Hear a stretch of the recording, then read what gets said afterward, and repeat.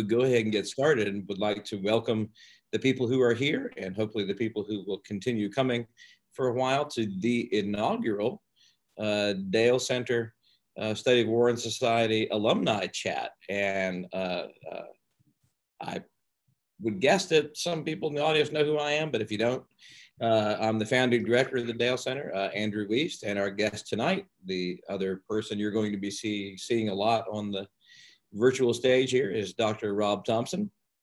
Uh, the format for tonight's event will take a general form of a conversation between myself and Dr. Thompson uh, about his research and findings, the stuff you're going to be hearing about shortly. Uh, that part of tonight's presentation will last in the neighborhood of 40 minutes, and then we'll take questions uh, from the folks in the Zoom room. And uh, to get those questions to us, all you have to do is get into the chat function here, and we will uh, sift through the chat function and spend the last uh, 20 or 15 minutes of the night uh, forwarding your questions to Rob and have him uh, answer those questions. Uh, before we get started tonight, I want to thank all the supporters of the Dale Center, especially Dr. Beverly Dale, for their continued generosity, which makes events like that of tonight possible. Would also like to thank uh, my wonderful colleagues at the Dale Center. It would take most of the rest of the night to list them, but I think you can see a lot of them here on their little screens.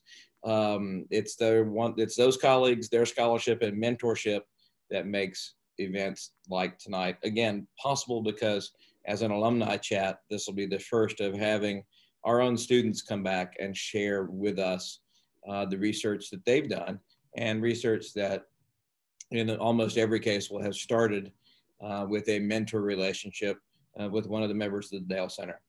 And uh, finally, I would like to thank Haley Hassick, our Dale Center graduate fellow, because she's the one that put all the work into getting tonight's uh, presentation organized. Uh, very quickly, I'll introduce tonight's guest. Dr. Robert Thompson III graduated from the University of Southern Mississippi in December 2016. Wow, it's been that long ago now. With a PhD in US history, he is now a historian at the Army University Press, Fort Leavenworth, Kansas. At Army University Press, he helps to produce documentaries to educate viewers on the U.S. on U.S. Army doctrine and history. And we just got through chatting about how he's uh, completing a, a, documentary on uh, the fighting in Manila in World War II and is about to move on to the guerrilla fighting in um, the Philippines in World War II, and then then hopes to move on to do another documentary uh, more closely uh, aligned with the Vietnam War. Uh, Rob currently resides with his wife and four children in Kansas City, Missouri. Uh, Rob is a real Dale Center success story, and we're so proud to have him back for this inaugural chat. And this chat is about his first book, which is titled Clear, Hold, and Destroy Pacification in Yen and the American War in Vietnam, a book being released next month by University of Oklahoma Press. So you can hop on Amazon right now and pre-order your copy today. I guarantee it's a book that you'll be happy to have read. This book, which Rob reminded me, um, uh, began with us sitting around in my office wondering what the heck he was going to write about in 2011. Uh, began as his dissertation right here at Southern Miss, directed by myself and Dr. Heather Stur.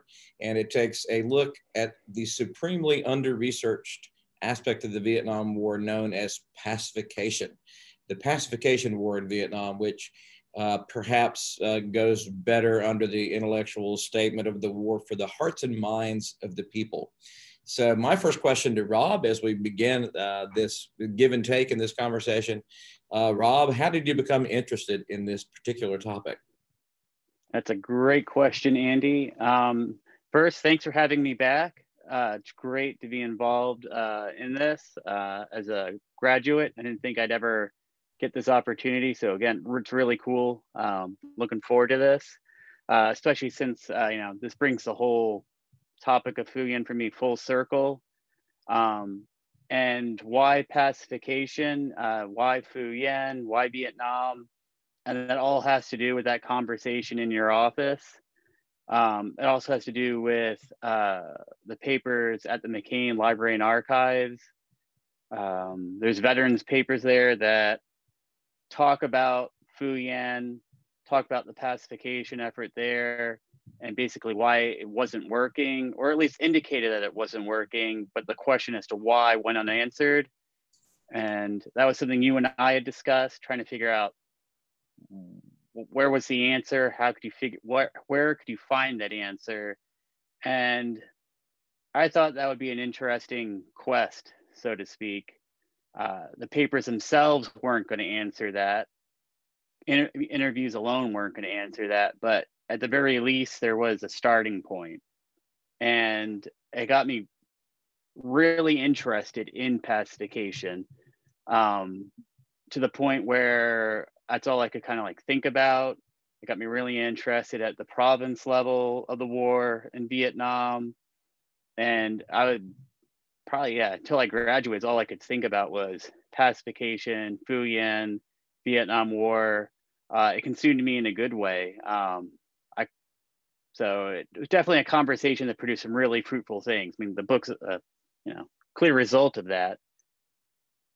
Well, I mean, something you brought up there is an interesting um, uh, shining of a light on the research project itself. Sometimes, you know, research projects are um, uh, born from an idea, and sometimes they're born from finding the right source. And you found a very interesting source, and we're, we were lucky enough to have it right here in the McCain Archives on, on, on campus. Can you tell them a little bit about the uh, Frobenius papers that that you kind of dove into first, that that that uh, led you to the uh, um, this topic, and you actually still have a relationship with the writer of those papers, correct? Uh, correct. Um, uh, haven't oddly enough, I believe Courtney actually lives out here in Kansas City now. I haven't seen him uh, because of COVID. Um, I haven't talked to him in a while either.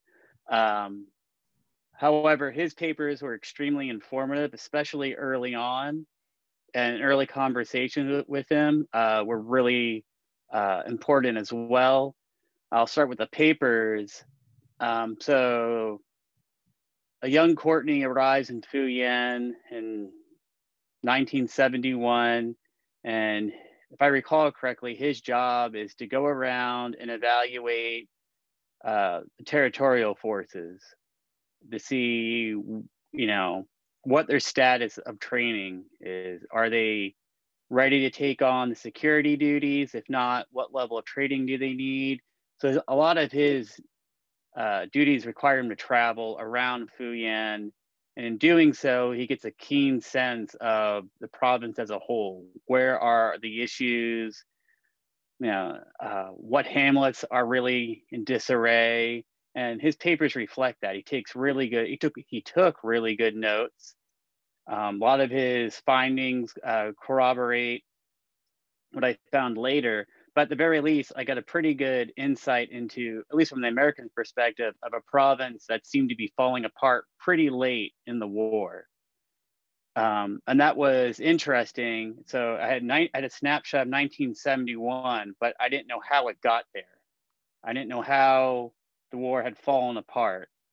I also didn't know what it necessarily it happened after. I mean, I know nine, I know South Vietnam doesn't exist after April 1975, but I don't know what happens between. But I had 1970, I had a pretty good idea of 1971.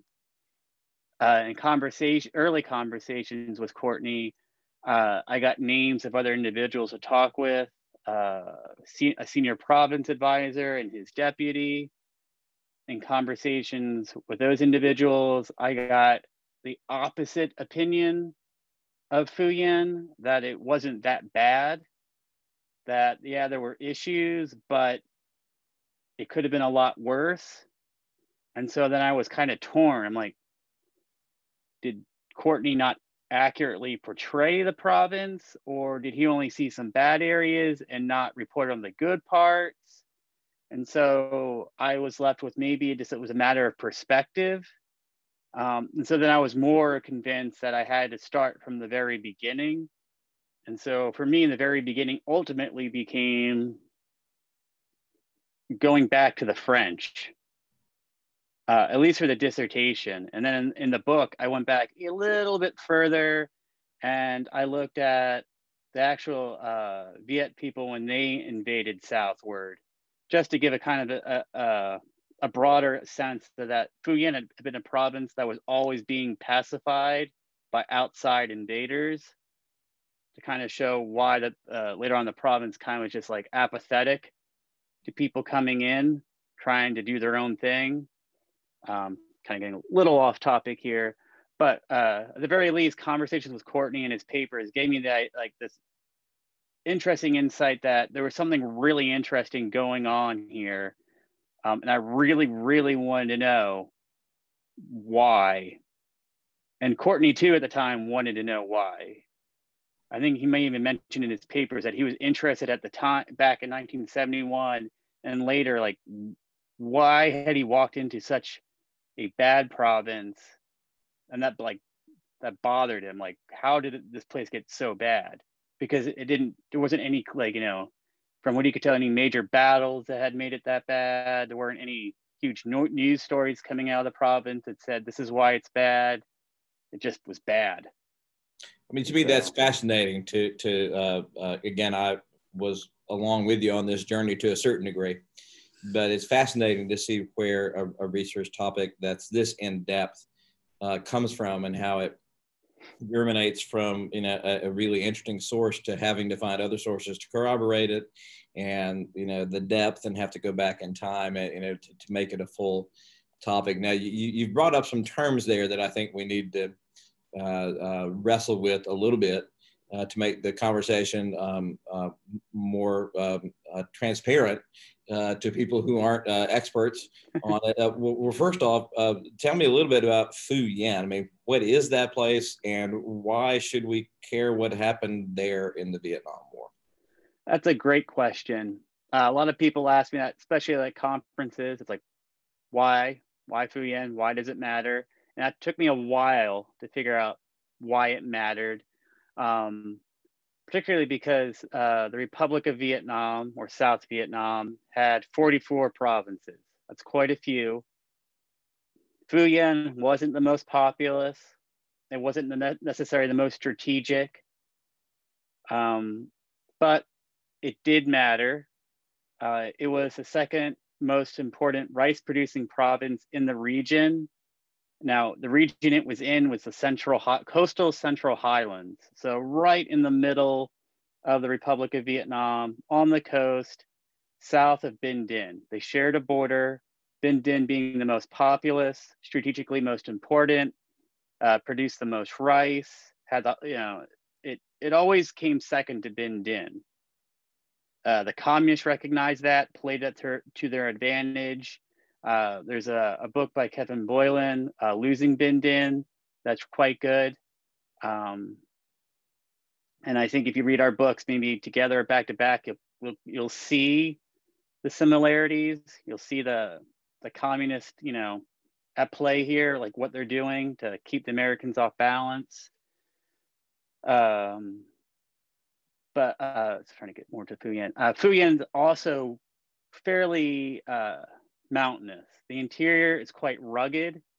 Um, so most of the population lives on the coast and along uh, the Song Ba, the river that leads to the most of the rice production, uh, the, the, rice paddies themselves. Um, I think at the time, most of the population would have lived near or in Tuy Hoa City itself, the province capital. So most of the population is uh, centered on rice production and around that province capital. So if this is like a, a, a, it's a special province, but nothing special. It's not Saigon, it's not Hue, it's not Da Nang or Cam Ranh Bay or anything like that. Um, is it safe to say then what one of the things your project does is show us how the, the big things that all Vietnam War historians talk about, whether it's search and destroy or pacification or the impact of the media or politics or the uh, decrepit nature of the South Vietnamese state, all the things that we all talk about, how those things actually functioned uh, in, in, a, in a local and immediate kind of way. Uh, in a way, yeah. So a big thing I argue, uh, I think I borrowed it from Greg Daddis, uh, was like you have to look at Vietnam as like a mosaic. and that each of the provinces represent a part of that mosaic. And if we really want to understand the war, we have to understand how it transpired in each province. Because I'm a big believer it went a little differently in each place. Because as much as there are similarities, there are differences. And I think we can get a much better appreciation for what the South Vietnamese went through, um, for the, the war that the that ARVN fought, um, even the communist perspective, if we look at each province differently, uh, and there's some provinces that have been, uh, in a way, maybe even overstudied, like Tuy, the Australian run province, I think has, I can't, I've lost track how many different province studies. I think every Aussie has wanted to study it and has. Um, and so I think there's a lot of problems out there that have not had that benefit of like an historian's you know eye to go through it figure out how the war went and what we can learn from it and Phu Yen, uh, for me, what I, I, what I found it useful for was you could use it to see how conventional warfare and pacification went along together. That they weren't at odds, that they that in a sense conventional warfare was pacification and that once conventional once they removed conventional warfare like from the province that you could actually see all the security issues. And that's when everything starts falling apart. Now another thing that I think it's safe to say your your study does although it, it does uh, certainly have some focus on what the Americans were doing in this province. It also uh, continues the process of adding the South Vietnamese into their own story. And I was just looking around at some of the people who are uh, who, who, are in the room tonight, and Jay Veith is here, who's certainly front and center in, in doing that himself. Is is that safe to say that that um, you're writing the South Vietnamese into the story, and in what way? I tried my best to. Um, I remember during the dissertation trying to be as cautious as possible about uh, speaking on behalf of the South Vietnamese because I wasn't able to get to Vietnam to do uh, primary research and my lack of familiarity with the language. I remember talking with Heather about that. So I didn't want to like speak on behalf of them and make any errors. And so when it came time to revise for the book, uh, I was able to get a hold of some Vietnamese sources, at least gave me like a better insight into what the war was like for them. And so when possible, I tried to get a, like to add them more to the story. Uh, so there are parts where I do have conversations with like within ARVN's leadership talking about what's going on. And there are, there's a one ex- very candid uh, ex- uh, exchange during an ARVN meeting in Phu Yen, where they're calling each other out for the problems. And I wish I could have gotten more documents like that. But at least at least in the 1970 chapter, there's you know, there's some really good ARVN moments there where it's South Vietnamese talking to South Vietnamese about the issues. Um, and then uh, I was able to get uh, similar like interviews um, from South Vietnamese at the time about being uh, coerced by um, the communists during uh, was it during during one of the infamous abduction campaigns. So I was able to add them back into the story. But I was I was very apprehensive about trying to speak on their behalf, trying to make judgments, that sort of thing. Um, but I also at the same time didn't want to like go along with what the American advisors are saying that ARVN couldn't fight or blaming uh, the Saigon government for all the missteps. Uh, when possible, I try to like remind readers that a lot of the issues here were like were American caused, like were caused by the Americans. Um, and there was a great example of that that I found uh, for the book. Um, and I'll be my SMH paper is actually going to hammer that home is that uh, in 1970, there's like this abduction crisis. And it's uh, when the PLAF uh, come uh, basically kind of rears its head again in Phu Yen and starts abducting people for re-education. They tell them, "Hey, the Americans are going to leave. Uh, we're going to get ready to, you know, start running the show again." And none, the South Vietnamese stop reporting abduction numbers. It causes a whole lot of embarrassment, and everyone's trying to figure out what to do. And ARVN says, "Well, let's do what the Americans trained us to do. We'll launch a massive conventional operation. We'll sweep these mountains. We'll we'll look great. And then all the American advisors complain.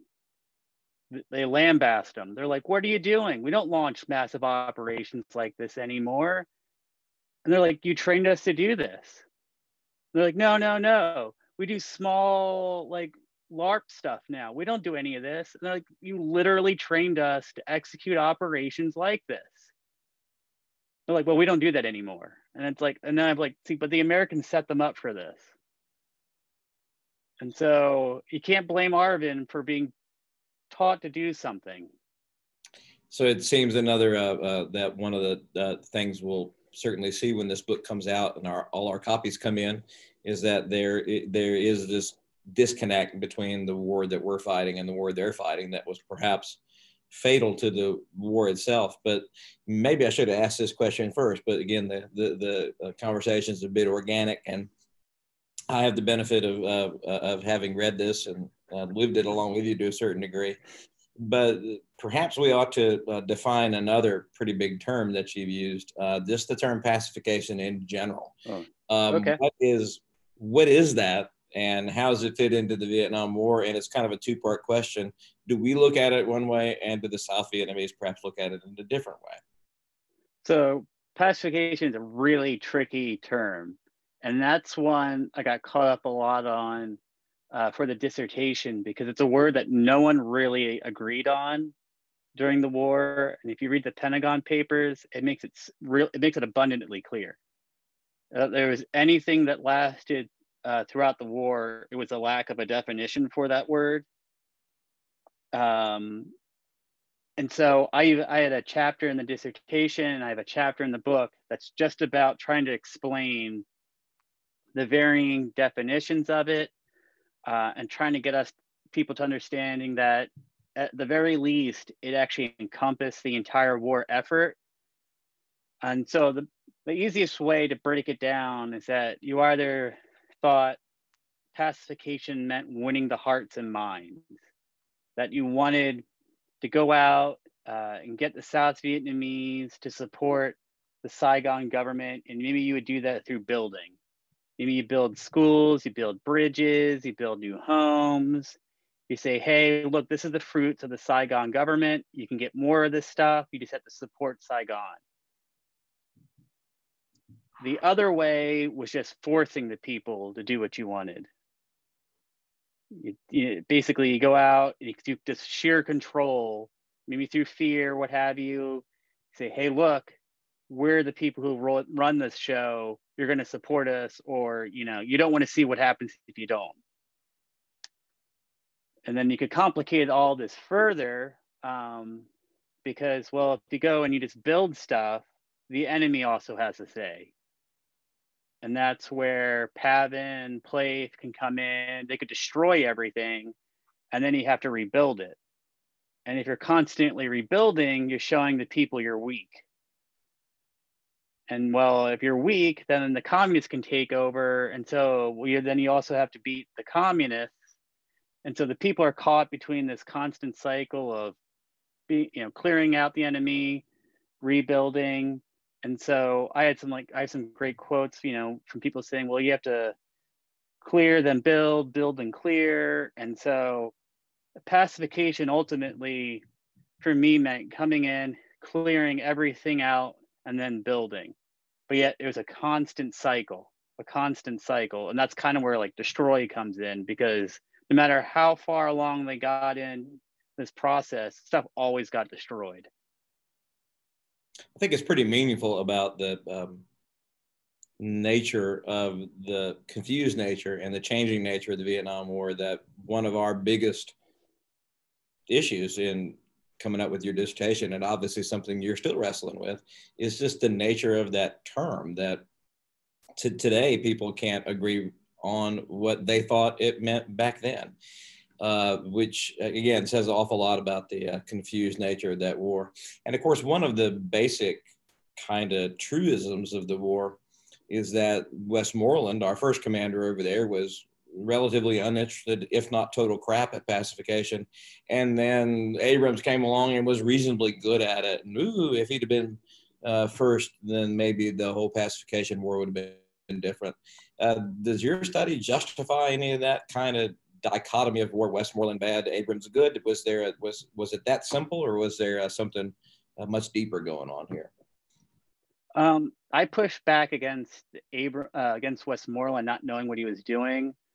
Um, I don't get into it like Greg Daddis does in his book that you know Westmoreland had a background in counterinsurgency. Uh, I come at it from the nature of the operations that MACV launched under his uh, uh, tenure. Uh, I show that uh, Mac, uh, MACV's operations, or more specifically, First Field Force, um, launched operations that were directly aimed at supporting pacification in Phu Yen. Um, and so my whole point is to show that even early on, everything was aimed at spreading and supporting pacification. That pacification was always front and center to the point where search and destroy was pacification. And that probably will irk a bunch of foreign service officers and Abrams fans and what have you.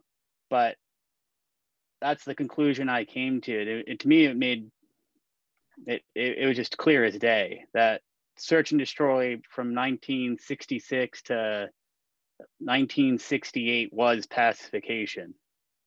I mean, that is certainly going to rattle some uh, Vietnam War cages, as as as you're aware, because that's certainly not the uh, the standard way to define things. The standard way to define things is, is that the South Vietnamese were caring about this, and we were caring about it along with them until we threw American troops in, and then we just totally sidelined pacification, sidelined the South Vietnamese. And again, your research, and to me, this is indicative of the deep value of province studies. Your, your research runs counter to that meta narrative, it sounds like. Yeah, and to get to, uh, I mean, I'm skipped over your question, the South Vietnamese define stuff differently. I think they were caught up in the same issue of disagreeing um, I uh, when I looked at Ed Lansdale's papers at Stanford, uh, the Ministry of Rural Development and their uh, president's office, they had disagreements over stuff. They'd be giving one day giving speeches about this is what we're going to do for pacification, and then the president's office being like, that's not how we define it. Like they need to get on board. No, you need. It's just like they're like that's not hearts of mind. We're not doing hearts of minds. And so they're caught up in the same thing. Like, well, what are the Americans telling you? And they're like, and then people are telling Lansdale, hey, get your guys on the same page. And it's like, I, I, I'm, I'm sorry. And so I think it's like all these conversations in Saigon are really just about trying to get everyone on the same page. But I think often they're in different books. And that's pretty much the war as it to the end. I mean, you uh, you kind of preempted one of my questions there, uh, and I'll kind of just state it here because I think it's worth, you know, uh, reiterating how you're gonna uh, how your book's gonna change some of the uh, conceptions of the war. Um, the periodization of the war that leads from the South Vietnamese almost alone, and then the American dominated uh, phase that runs 65 through 67, again, the, uh, maybe up to Tet 68, th- that those are seen as uni- uniquely different phases, and you're not seeing that. Uh, uh I, I, think that's a important, again, showing the depth and the uh, important uh, things that province studies have to say about uh, meta narratives. Now, of course, the next big step in any Vietnam War, war meta narrative is going to be the Tet Offensive, the, the, the thing that changes everything. How did the Tet Offensive impact what you were looking at in your province? Did it uh, derail pacification? Did the, the, giant tactical victory that was won by uh, Western backed forces push pacification forward? Was this a good or bad thing in Phu So Tet was always one of the things that really interested me about Vietnam. Um, so it was really I was really eager to get to that part of Phu Yen, especially because uh, a lot of the early sources I got were like, oh, it was nothing. You know, the, the Americans and South Vietnamese and the the ROKs kicked the communist forces out of whatever they took over in Phu Yen really quick. It was it was nothing. It was pretty relatively quiet in Yen. And I was like, oh, well, great. So I'm going to get to 1968 and have really nothing to talk about. Well, uh, when I did more digging and I got more like the district level files, did more digging at CMH, got more and more like basically as the more files I accumulated, the more I realized there was a whole lot going on in 1968. So much so that I realized one, they knew the offensive was coming in Yen. They didn't know when, but the communists weren't quiet. Um, they had seen basically rehearsals in late 1967. Uh, they saw the, uh, one of the PAVN main force units uh, had taken over a hamlet and like twice and refused to leave it. And basically, the ROKs and South uh, Vietnamese ended up having to destroy the hamlet to get rid of the main force, or uh, the uh, sorry, the PAVN conventional force. I'm mixing stuff up. But anyway, they're like that. That that that was a different. That was a change in tactic. They hadn't really seen that that often. Um, and so by the time we get closer to the Tet offensive, the Americans are out uh, on an Operation Bolling, trying to find these larger units. And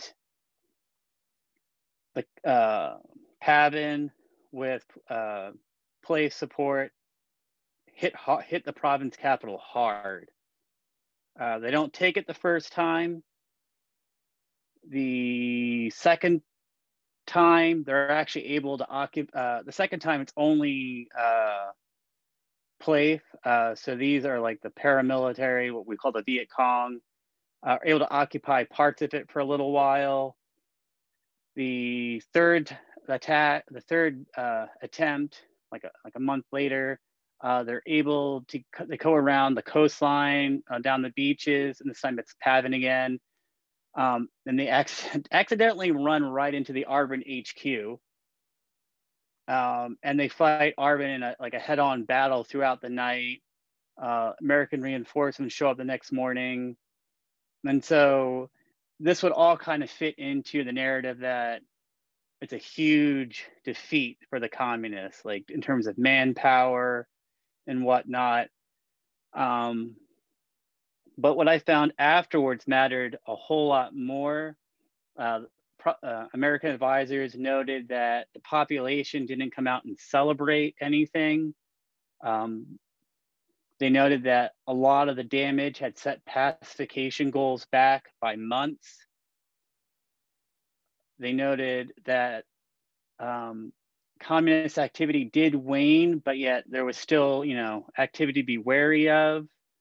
And then in 1969, uh, PLAF is still mounting like guerrilla activity. They're not really that quiet. They're still conducting terrorist activity.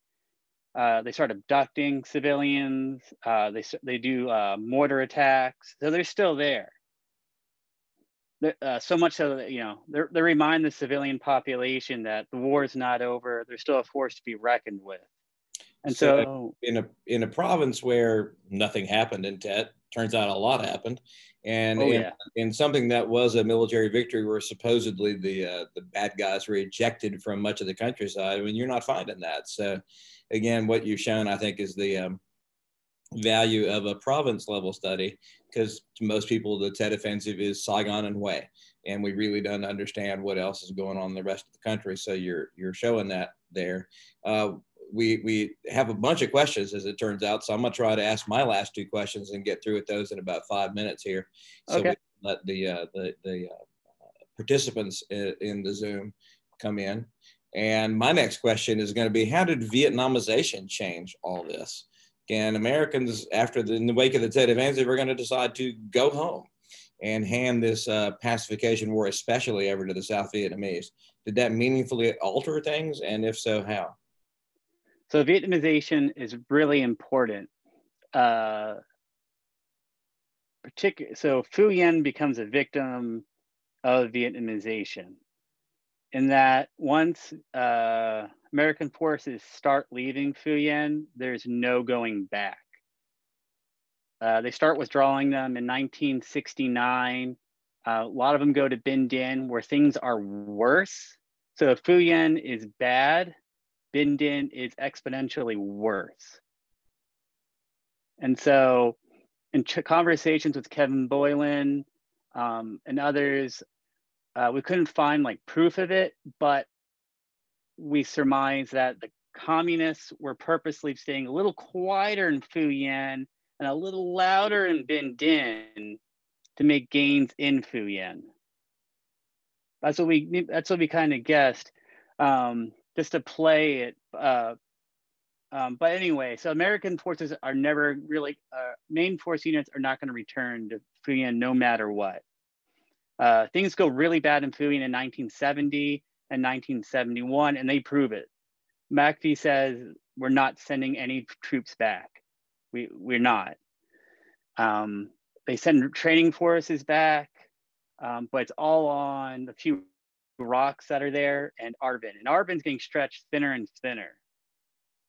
Uh, 1970, they actually had, ARVN had to revise its plans just so they could send forces back to Yen. They had already sent forces up further into the Central Highlands to replace withdrawing U.S. forces. And so Yen's always is a it's a victim from the get-go of Vietnamization. And so if you want to look at uh, what happens when you start losing American forces perhaps too quickly and without uh, any guarantee, like without, you know, w- without repercussions or consequences, or I'm trying to think of a better way to put this, uh, knowing that you're not going to get them back no matter what, Phu Yen might be a, a good case study for that. And by the way, uh, folks, if you do have questions, please uh, now is the time to throw them into the chat.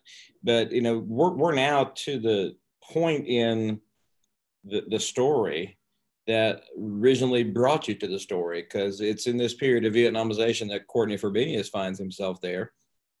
And the usual part of the story is that after the you know debilitating defeat of the communists in the Tet Offensive, that the Viet Cong are essentially destroyed, and that pacification thrives as a result because the war is turned over to the North Vietnamese who are going to be invaders this time, and the Viet Cong are sidelined, and, and pacification is great. And that is, as we understood it at the beginning, kind of that's what Courtney didn't see. Courtney went around and looked and said, pacification totally rips in these places. It's not going well was this a, an American narrative that we were trying to sell ourselves so we could exit from Vietnam with grace? Did we know pacification was failing, or was it actually doing better than Courtney was willing to admit at the time? Um, I think Courtney was spot on, and I ended up finding a lot more evidence to corroborate what Courtney was saying that led up to 1971. I found evidence uh, corroborated what he was saying in 1971 itself. Um, 1972 was pretty much just an echo of what Courtney said in 1971. Uh, uh, and so what he hit on seemed to be like the nerve. Like that was like as accurate as could be. And it was interesting to see that his snapshot really fit into what was like a much larger mosaic that the problems like had been there just that 1971 was too late to fix them. That the South Vietnamese, like for better or worse, had come to terms and accepted them because they, like the Americans were not going to come back. They were going to have to deal with it over a longer period of time on their own terms. And for the Americans by 1970, like it's you know th- this problem was going to be off their hands you know, eventually when, when whenever the, you know, they were told they were going to be out of the country it was not their problem anymore. It was going to be a South Vietnamese only issue, and that they had done everything they could, supposedly. And so it was just a mess. Now, the military, uh, the, the institution for which you now uh, labor, uh, loves what they refer to as actionable intelligence. Um, we are, of course, in the conflict that we're hoping ends in September, but is actually older than most of my college students now, or many of my college students. Um, and that war, of course, has an advisory and pacification and counterinsurgent element, the same kinds of things that you're looking at. And of course, you know, one would think, given the uh, tactical situation in the world today, we might even find ourselves in other situations that are perhaps akin to what you wrote about in Yen. D- does Phu Yen have lessons for uh, uh, us if we get involved in similar uh, situations? And it looks like we might. I think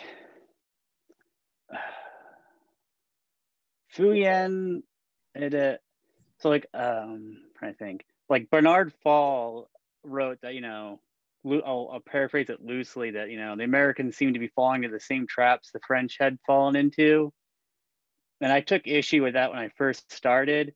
And then the more I read up on the French experiences in Yen, the more I was like, oh man, he he's right. Um, and it seems you know, sure the American, yeah, we are Americans. You know, 20 years in Afghanistan a lot of blood and treasure and like you know we're leaving like the soviets. It's like what i don't i don't know what's been i don't know if we've accomplished much of anything because i mean the taliban are still there. I mean they, they were there from the beginning. I don't know how you get someone rid of some threat that would that's always been there. So in Yen, you're trying to get rid of a communist threat that had been there when the, the, that preceded the French in a way. And it's how do you get rid of a pe- how do you get rid of a people that that's always called it home? Maybe the ideologies changed or shifted over time, but the people have always been there. So that's I mean you could try to stay as long as you want, but I don't eat and we made uh, just ideologies, but there's uh, uh, there's something to be said about staying power, I guess, and yeah, these wars are certainly not easy. They're tough. They're they're they're long. Uh, they require as much cultural sensitivity as they require military prowess. I mean, it, it's such a it's such a complicated thing. And then again, that that that's the, one of the wonderful things your book does is it shows the the depth that you're going to have to uh, uh, go to uh, across the board in a, in a. I mean, heck, if we didn't even understand what the word meant, uh, we, we were unlikely to, to be successful in prosecuting said misunderstood word. And I would, I think it's perfectly valid today to think that that word still carries uh, uh, different associations for different people, depending on what as aspect of pacification they're trying to implement. So maybe if the military's number one rule is choose and maintain a achievable aim, uh, coming to terms with what the word means. That's the centerpiece of your aim might be important. Uh, let's move over to a couple questions now as they are rolling in. The first question is from Daniel, and I'm going to massacre this last name, but Wegeland perhaps. Uh, it says, do you see any evidence that the arguments in the headquarters over the intent philosophy of pacification had any effect in the way pacification was implemented in Yen? So did these arguments that guys like Lansdale were having about what this term meant, did that actually impact what you saw on the ground? That's a good question. Um,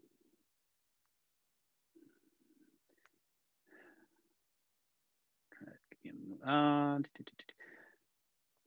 it's hard to it's hard to say because MACV had an early definition of pacification. It spelled it out uh, quite succinctly what it entailed, but there were still people debating it. It was supposed to be a definition that uh, um, the State Department, so the embassy, all the basically Americans in Saigon or in Vietnam as a whole agreed on. But yet, even after it was adopted, they're all debating it. And so, uh, probably as far as MACV went, that was what they were operating under, that definition. But as far as the debate went, it was still undecided. So, from a military sense, yes, MACV is going into Phu Yen with that idea of pacification in mind. Uh, later on, when we get CORDS or the civilian operations and revolutionary support or develop uh, civil operations and revolutionary development support, which is what uh, what's that military civilian hybrid um, after around 1967 or so that really uh, gives pacification a lot more teeth. Uh, they're going to come in with a come in with a different definition, um, one of many anyway. Um, so that debate, even if MACV had an idea and went with it, there's still people in Saigon are still debating it, still disagreeing. So pacification is kind of like art. You know it when you see it, right? You may not understand it, but you know it when you see it, kind of thing. Um, Haley, who's actually sitting right here across the table from me, has a question or two, and I'm going to uh, uh, move to the second part of her question. Can you give us a little background on who Courtney is or was, and uh, about his collection? What what does his collection like have in it? So, a little background on Courtney. Um, trying to remember. Uh, I believe Courtney was initially um, connected to your Boys of '67 book, correct? He was. Uh, Courtney served in the 9th Infantry Division, and actually, as far as um, our um, our USM program was concerned, he he was the tour guide uh, who, who who led us over there. But it turned out he had this whole second military career as a uh, as uh, uh this link to pacification, which I didn't know anything about until he gave us his papers. Yeah, so his uh, second life in Vietnam uh, would have been a member of Advisory Team 28, uh, which was the advisory team under CORDS that was responsible for advising the South Vietnamese authorities in Phu Yen on revolutionary development, which was another term for pacification. They also called it rural development pacification. Um, and so his job, like I mentioned earlier, was going around evaluating territorial forces. Um, I don't remember his rank at the time. I'm not sure if that matters. Uh, but in the collection itself, he has like background on his uh, career in Vietnam. He has all his uh, evaluations. He has his uh, log, I believe, like so his um, summaries of what Hamlet conditions were like, his reports to his superiors. I think he has copies of some of their responses. He has some after action reports. Uh, there was a one pretty big battle in 1971 that saw some of the territorial forces he had observed uh, do really, really well against um, uh, main force units. Uh, and then I believe he has some other materials. I don't quite remember. I was mainly just interested in his observations of Hamlet conditions so, because that helped me um, understand security issues. So Courtney's uh, uh, materials gave you that thing that um, so many military records don't. It sounds like uh, real depth, uh, uh, asking questions, uh, trying to wrestle with things as opposed to just ticking boxes. We went from this grid coordinate to that grid coordinate, and here's the way the day progressed. That that Courtney, as a deeply yeah. intellectual person in his own right, was was wrestling with some issues, and that gave you some an insight you probably wouldn't have gotten any other way. Like he he would tell you like, oh yeah, this Hamlet has a really good security ranking. Uh, but I went in there and no one lives there. Like it should not even be on our maps. It's abandoned. Or I, uh, my sources there tell me that uh, recruitment is high amongst uh, this uh, Viet Cong local force. Um, or this main force unit's based out of there, or the fishermen there take rice up to Binh Dinh for a main force unit. None of this stuff was appearing on other like reports. So he had a, a lot of good information came out of his stuff. Uh, let's move on to the next question from another uh, uh, a friend of ours. This is from Martin Clemens. Uh, and uh, this is a pretty detailed question, so I, I hope you get the uh, base area reference because I don't. I'm, I do not know it that well. Uh, what role did base area 236 and terrain play in the failure of pacification in Yen? Uh, great to see you here, Martin. I'd actually look up on the, the book map for uh, 236. I had to make sure a couple of them. So this was the infamous hub. Um, all, all the reports uh, from start to finish called it the hub. And this was quite mountainous terrain, pretty much smack in the middle of the province. And no matter how many times uh, the Allies cleared it out, it was reoccupied. And they called it the hub because it was the center of all communist activity in the province. So not only was it in the middle, but everything seemed to come out of it. The attacks against the province capital for, uh, on Tet came from there. It overlooked the rice production uh, in the Tuy Hoa Valley. Uh, and so yeah, it played a key role in the failure of pacification in Yen. Um, and it was only about, I'm trying to remember, maybe, don't quote me on this, but maybe 50 kilometers away from the province capital. This is all pretty close together. So, yeah, um, that I mean, the only other place that rivaled that was like another one other base area that caused a lot of trouble, but that was further inland. But yeah, uh, eventually they get so frustrated. I mean, they're always frustrated with this this base area. I, it was comical just reading the reports. They're like, just send people in there just to remind the communists that we're here.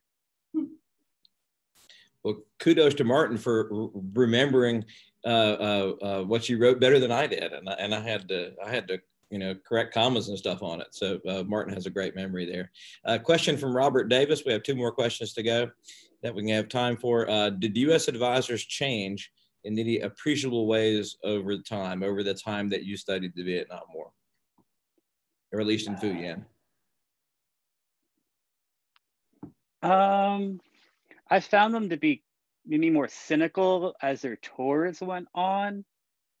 I was always warned um, that maybe when they showed up, they would be like trying to make everything look bad. And so that, you know, the, don't trust numbers because maybe they'll say, hey, everything's bad here. Now look how good I made it, that kind of stuff.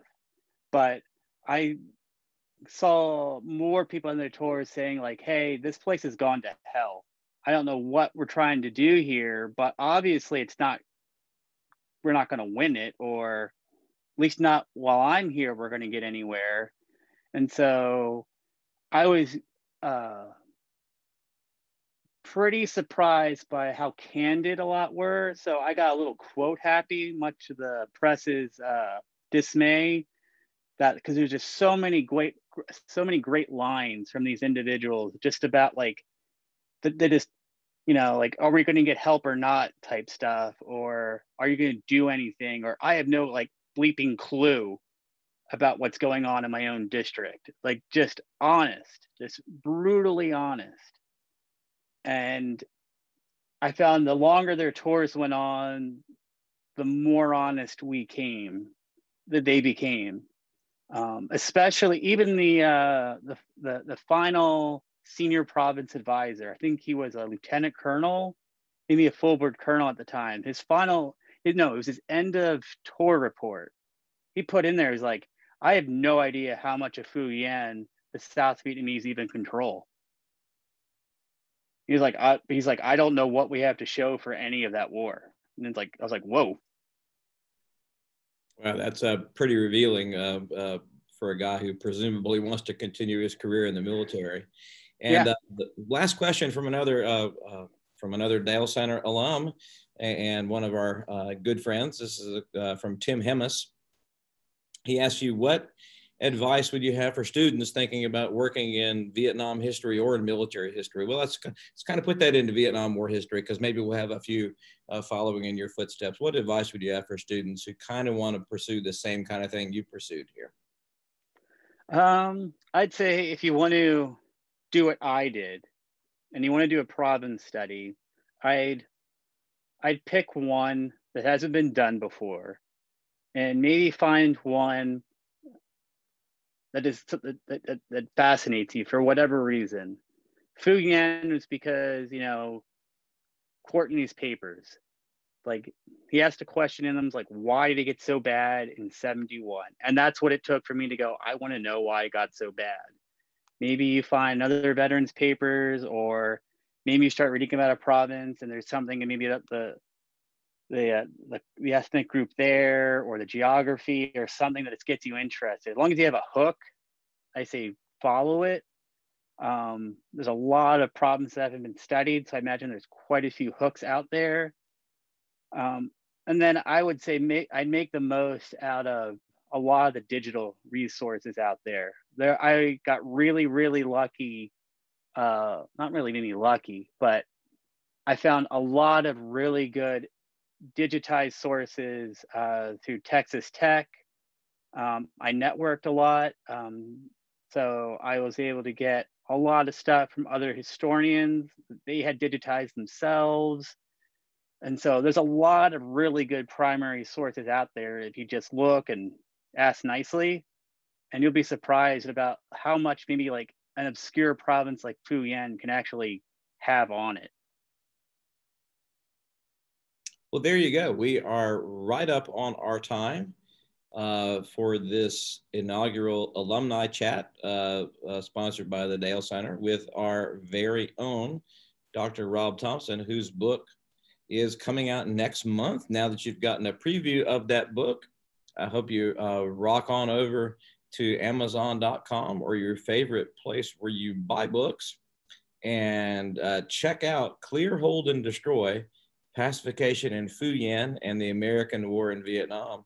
And now that you see what wonderful kind of stuff our graduates turn out, hey, send us some uh, send us some more students to write more great uh, dissertations in the future. And we have one uh, more comment here uh, that you can read there, Rob. Um, uh, ooh, that, uh, about maybe you having you come speak uh, at a New York Military Affairs Symposium. So there you go. The uh, oh, cool. The, the, the networking the networking continues, uh, and that's what uh, wonderful things like this allow us to do digitally. Is have people in who perhaps wouldn't be able to come sit in a classroom with us and hear you chat, but we do look forward to having you down here to chat uh, again sometime in the near future. And thanks so much, Rob and Dr. Thompson. There you go. And thanks to the entire audience. Well, thank you, Andy. Thank you all for having me. It's been fantastic.